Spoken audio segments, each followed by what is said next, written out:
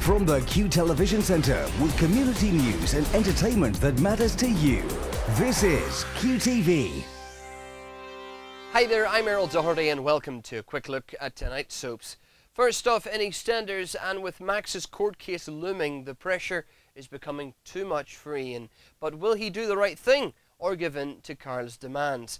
Meanwhile, Terry assures David that he does love Bianca and Peter decides to stand up to Carl.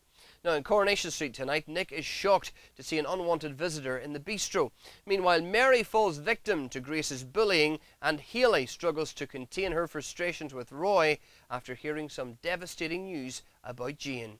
That's the latest on your soaps for this Friday night. Remember, you can stay up to date with all today's entertainment news right here on Q Lifestyle and on Q Radio.